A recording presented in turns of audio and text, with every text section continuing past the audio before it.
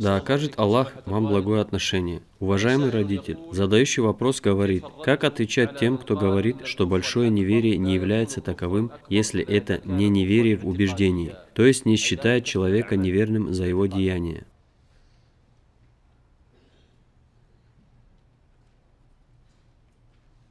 Человек не совершает деяний, совершение которого является неверием, не думая.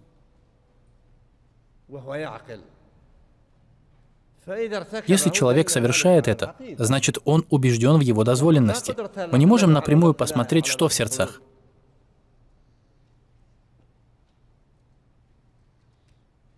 Но если человек зарезал животное перед идолом, то мы должны сказать, он не стал неверным. И если человек сказал, «Не оставляй нас, о посланник Аллаха, спаси нас», то он не неверный? Когда посланнику Аллаха, да благословит его Аллах и приветствует, сказали, «Так пожелал Аллах и ты», он сказал, «Неужели ты считаешь меня равным Аллаху?» Скажи, «Пожелал Аллах, а затем ты», так как желание творения следует за желанием Творца, они сопутствуют ему. Человек должен знать о единобожии. Не должно быть такого, что человек совершает большое многобожие и говорит, «Я не многобожник». Или оставлять намаз, говоря, «Я не нуждаюсь в этом, и я не неверный».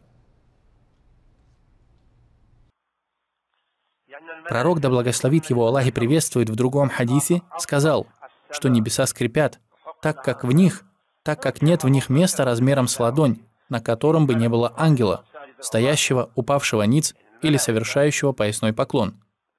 Ангелы поклоняются Аллаху и прославляют Его велик Он и возвышен, без устали. Они не показывают ничего, кроме смирения перед Аллахом, велик Он и возвышен.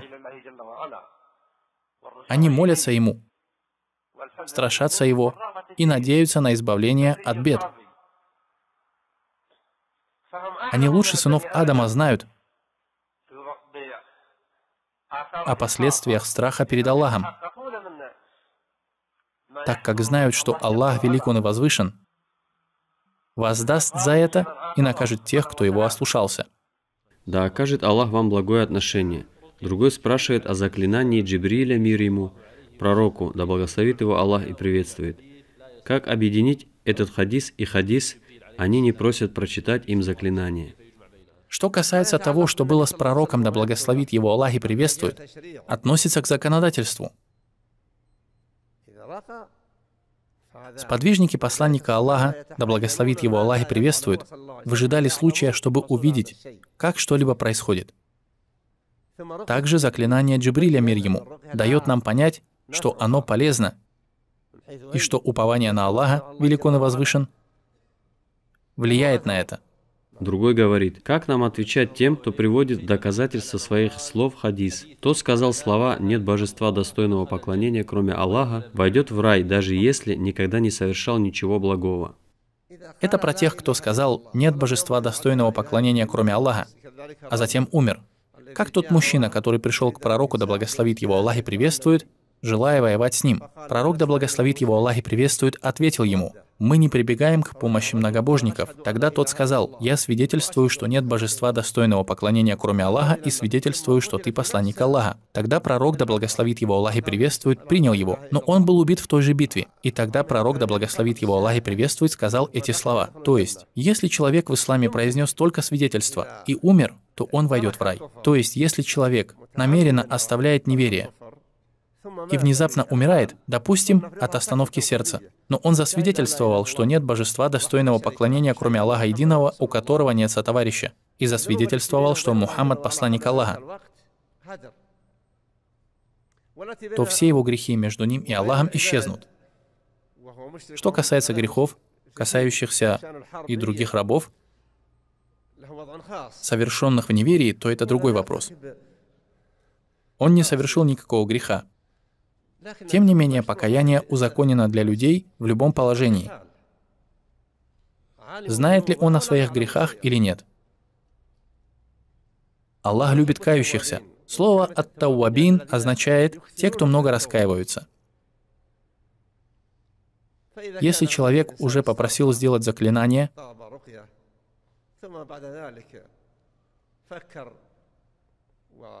а затем подумал и пожелал оказаться в числе 70 тысяч, то пусть посмотрит на остальные деяния. И если он может воплотить в себе остальное, то Аллах более щедр, чем оставлять и лишать человека того, что он просит. Другой говорит, относится ли лечение современными средствами к словам? Это те, которые не просят, чтобы им прочли заклинание. Нет, они относятся к словам о прижигании. К нему относятся остальные лекарства, на которые указывал пророк, да благословит его Аллах и приветствует. Он сказал, в черном тмине есть излечение от любой болезни, кроме смерти. А в другой версии — кроме старости. Аллах сказал в своей книге, что в ней есть исцеление для людей. Да окажет вам Аллах благое отношение. Другой говорит, некоторые отказываются от заклинаний и прижигания, думая, что они уменьшают их упование на их Господа, хотя они нуждаются в этих средствах. Правильно ли они поступают? Если они действительно оставили это из упования перед Аллахом, будучи полностью убежденными, что перья уже высохли, и что головная или любая другая боль. будет в любом случае, то пусть оставляют. Но на самом деле, хоть причины и влияют на следствие, но если мы видим человека, излечившегося от этой болезни, мы не можем сказать, что если бы он не принял такое-то лекарство, то умер бы. Когда он исцелился, то мы узнаем, что Аллах предписал ему исцелиться. Возможно, он исцелился благодаря этому лекарству, и, возможно, он исцелился не по этой причине. Да окажет вам Аллах благое отношение, уважаемый родитель. Другой говорит, у человека есть имущество, принадлежащее сиротам уже 10 лет. Он не выплачивал с него закят, думая, что с него закят не обязателен, так как думал, что нисаб в деньгах 100 тысяч реалов. Что делать в этой ситуации?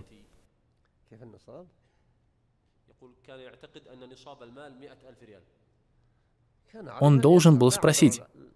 У него нет оправдания в таких вещах. Человек не рождается знающим, и человек не всегда зарабатывает деньги знающим. Аллах обязал людей выплачивать другим имущество, и человек обязан выполнить свои обязанности. С имущества сирот также следует выплачивать закят, но человек не должен оставлять это имущество просто так, не вкладывая их ни во что что даст ему прибыль. Если у него есть имущество, то он должен пользоваться им. Да окажет Аллах вам благое отношение. Другой говорит, один человек получает 15 тысяч реалов, и он тратит их до следующего месяца. И так продолжается уже долгое время. Но на его счете всегда не менее 5 тысяч реалов. Должен ли он платить закят и что делать с уже прошедшими годами? Если год начинается, а у него есть только пять тысяч, затем он тратит свои деньги, и к концу месяца остается столько же, и так продолжается весь год, то он не обязан платить закят, если все так, как он говорит, так как у него нет имущества, остающегося у него во владении целый год. То, что он получает 10, 15 или сколько угодно тысяч в месяц, и что он тратит их до следующего месяца, означает, что у него нет суммы, стабильно имеющейся у него в течение года. Да окажет вам Аллах благое отношение. Другой говорит, уважаемый шейх, недавно я стал на прямой путь и решил посвятить себя получению знаний. Но я был застигнут врасплох тем, что есть множество течений, как Ихвануль Муслимин, Джамииты, Суруриты и множество других упомянутых им течений. Какое из них ты мне посоветуешь? Да окажет Аллах тебе благое отношение. Увиденное мной очень сильно отличалось от того, что я ожидал увидеть. Избегай все эти течения. Следуй за тем, кто направлен только на следование тому, что пришло от Аллаха и посланника Аллаха. Да благословит его Аллах и приветствует, а также сподвижников, да будет доволен ими всеми Аллах. Также посмотри на все эти течения.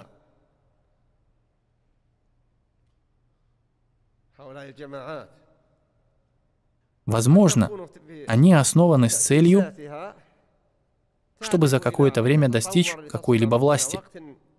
Главное, то, что понятие джамаа заключается в том, что его последователи должны стремиться быть на тех же убеждениях, на которых были пророк, да благословит его Аллах и приветствует, и его сподвижники, да будет доволен имя Аллах. Когда он сказал, что иудеи раскололись, христиане раскололись, и эта община также расколется на 73 общины, каждая из которых будет в огне, кроме одной. Люди спросили, что это за община? Он сказал, это те, кто придерживался того, чего придерживаюсь я и мои сподвижники. Поэтому, раз ты начал получать знания, читай больше историй сподвижников, да будет доволен имя Аллах. Похвали их в священном Коране. Он сказал, они отдают им предпочтение перед собой, даже если они сами нуждаются. Они дают пищу беднякам, сиротам и пленникам, несмотря на то, что она желанна и для них самих. И так далее. Да окажет Аллах вам благое отношение. Другой пишет, пожалуйста, расскажите нам о шейхе Абдуллахе ибн Акиле. Да помилует его Аллах, тем более, что вы застали его, когда он был судьей. Я прошу Аллаха Великого на возвышен, чтобы Он простил ему и всем нашим умершим. Нет сомнений, что я связался с ним рано. Да помилует его Аллах. Когда я окончил факультет шариата, то в начале 80-го года я стал секретарем шейха Мухаммада ибн Ибрахима. Шейх Абдуллах ибн Акиль был тогда самым старшим из них по возрасту. Как по возрасту, так и по знаниям. Нет сомнений, что мало таких, как шейх Мухаммад. Более того, я скажу, что я никогда не встречался ни с кем подобным шейху Мухаммаду ибн Ибрахиму. Итак, шейх Абдуллах, да помилует его Аллах, обладает множеством достоинств –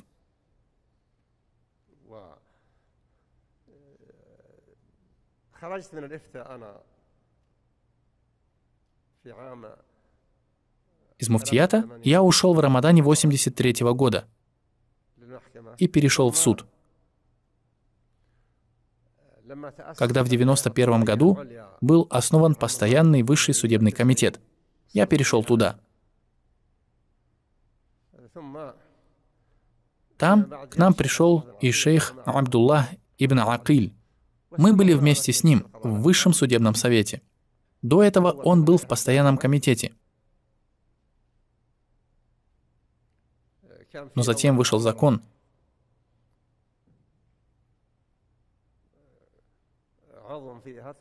благодаря которому комитет стал высшей инстанцией в судебной системе. Там не было никого более достойного и профессионального, чем он. Да помилует его Аллах. Он долгое время был судьей в области Джазан.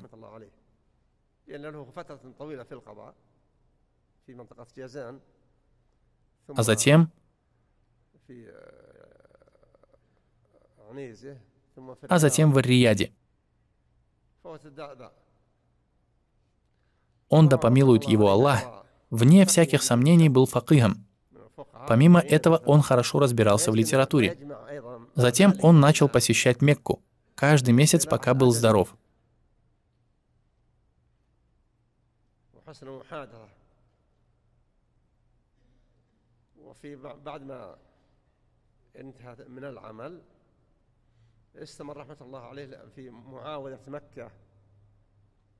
Каждый месяц он ездил в Мекку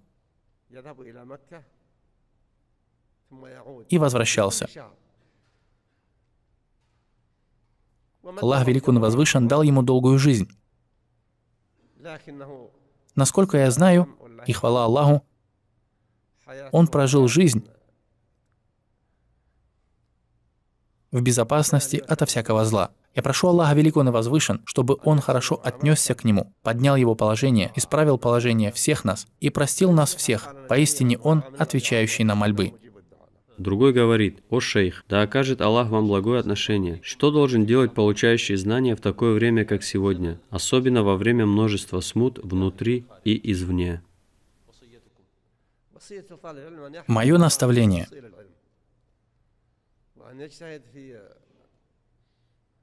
Пусть получают знания и стараются больше узнавать и понимать священный Коран и Сунну.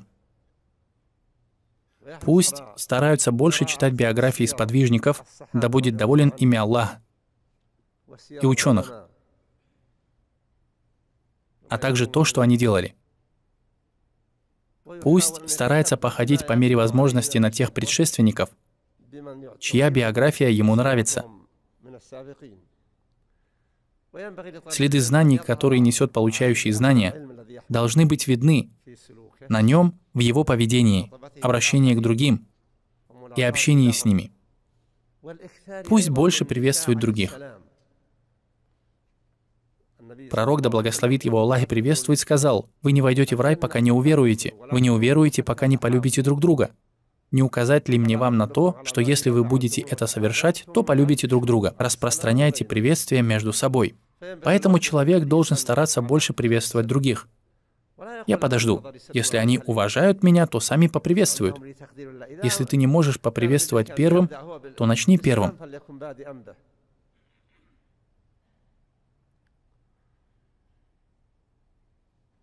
Также, если он увидит, что с его знаниями не считаются, то пусть не гневается на людей. Пусть прощает их и хорошо к ним относится по мере возможности. Еще один совет всем, и особенно получающим знания. Пусть выделит себе время, в которое он обращается к своему Господу. Велик он и возвышен. Пусть молится столько, сколько может, и не проявляет скупости по отношению к самому себе. Когда человек сидит с друзьями, то проходит час, но он не думает, что прошло пять минут.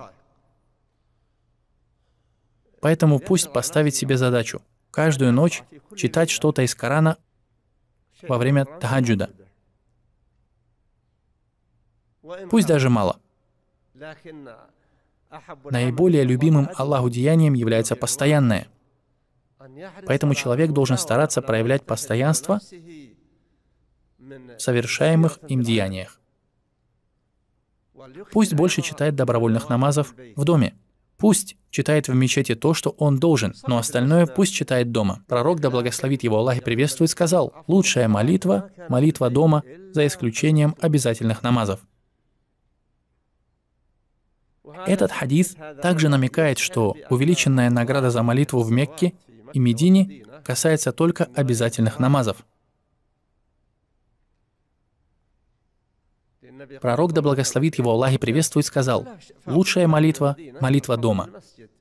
В Мекке достоинство касается всего города, но в Медине только в самой мечети. Один намаз равняется тысяче, а в остальных – обычная награда. Пусть также старается постоянно читать два ракаата молитвы духа. Больше всего он читал его в год открытия Мекки, восемь ракаатов. Умгани бинт Абу Талиб дяди пророка, да благословит его Аллах и приветствует. Пусть читает два, четыре или восемь. Лучшее время для намаза духа — время, когда земля сильно нагревается. Как приводится в Сахихе Муслима, пророк, да благословит его Аллах и приветствует, сказал, «Намаз обращающихся к Аллаху читается, когда верблюжата обжигаются об песок». Кожа верблюжат все молодая и мягкая. И когда они наступают на такой песок, то обжигаются. Это время для намаза тех, кто возвращается и обращается к Аллаху Великун и Возвышен. Да окажет Аллах вам благое отношение. Тут есть вопросы братьев из интернета. Один из Марокко говорит, «Уважаемый шейх, можно ли покрывать зубы золотом или серебром? Принимается ли в таком случае омовение, если это сделано для нужды или для красоты?» Что касается омовения, то в этом нет проблем, если пожелает Аллах. Если человек хочет покрыть зубы золотом,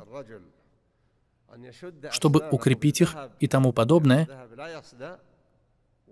так как золото не ржавеет, то в этом также нет проблем. Если же он хочет сделать это для красоты, то это входит в запрет носить золотые украшения.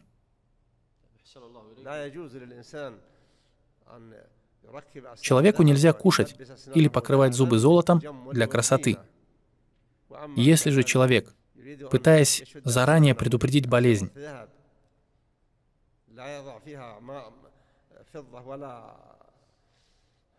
и тому подобное, хочет укрепить зубы золотом, то в этом нет проблемы. Да окажет Аллах вам благое отношение. Вопрос из Алжира. Я юноша и не могу терпеть, чтобы не жениться. Могу ли я жениться, зная, что у меня нет ни работы, ни жилья? Если ты найдешь девушку, которая примет тебя как мужа, без жилья и работы, то в этом нет проблемы, если пожелает Аллах. Главное, не обманывай и не приписывай себе качества, которыми ты не обладаешь. Говори ей только правду. Другой говорит, «О шейх, да простит тебя Аллах, мой брат убил человека, но был прощен. Мой вопрос, какие деяния ему нужно совершать усерднее, чтобы Аллах, возможно, принял его покаяние? Я вижу, что он боится, что Аллах не примет его покаяние». Аллах Велик Он и Возвышен говорит в своей книге, «Скажи моим рабам, которые излишествовали во вред самим себе, не отчаивайтесь в милости Аллаха, воистину Аллах прощает грехи полностью». Скажи своему брату, пусть прочитает этот аят и посмотрит на его смысл. Пусть больше совершает праведные деяния и оставляет запретные деяния. Пусть старается выглядеть так, что он держится за сунну пророка, да благословит его Аллах и приветствует. И пусть начинает с лица. Пусть не бреет бороду. Пророк, да благословит его Аллах и приветствует, сказал, «Опускайте свои бороды».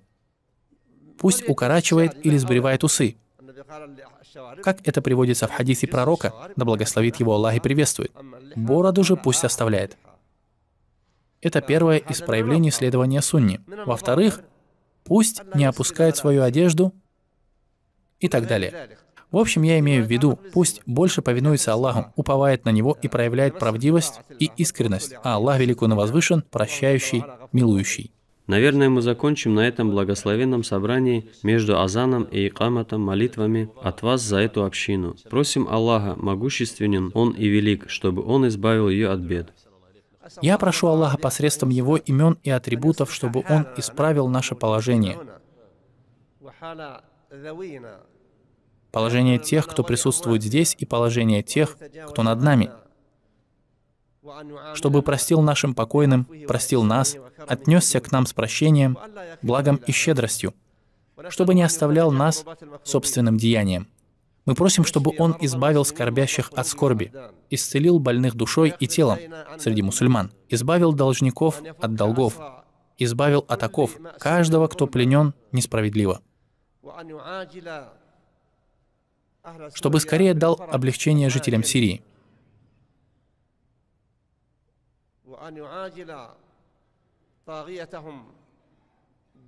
чтобы скорее наказал и отомстил их тирану, чтобы он сделал так, чтобы после этого они вернули Сирии облик ислама. Также я прошу Аллаха Великого Возвышен посредством его имен и атрибутов, чтобы он завершил проблемы жителей Ливии, чтобы он очистил страну от следов Аль-Каддафи, чтобы скорее, а не позднее, завершил проблемы жителей Йемена, чтобы он направил жителей Йемена присягнуть лучшему из них, самому достойному, самому милосердному к рабам и самому правдивому с Аллахом из них, чтобы это произошло по милости и щедрости Аллаха, скорее, а не позднее. И да благословит Аллах и приветствует нашего Господина и пророка Мухаммада и его род. Я прошу Аллаха Великого Возвышен, чтобы Он хранил нас в нашей стране, в королевстве, которое Аллах хранил от этих смут, на протяжении этих месяцев. Я прошу Аллаха Великого и Возвышен, чтобы Он довел до конца свою милость к нам, чтобы уберег и отдалил нас от смут, и чтобы Он дал нам благословение в наших делах. в наших жизнях и том, что Он нам дал, чтобы дал нам благословение в наших правителях, наполнил их сердца страхом перед Ним, сделал праведность и богобоязненность любимыми для них, чтобы Он принес пользу странам и рабам посредством них, чтобы дал посредством них победу правильным убеждениям, чтобы хранил посредством них нравы, чтобы хранил посредством них границы шариата, чтобы опрокинул посредством них ересь и заблуждение.